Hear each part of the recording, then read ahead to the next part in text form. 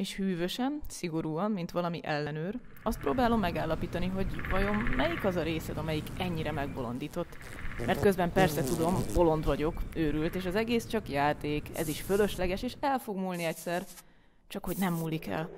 És így kutatok, turkálok benned, leltározlak, szétszedem és összerakom, miközben érzem, azt érzem, hogy talán nem is szeretlek, ha erre így képes vagyok.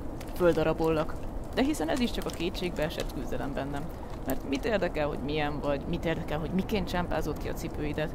Ha egyszer olyannak szeretlek, amilyen vagy, pontosan olyannak, és semmi más nem érdekel.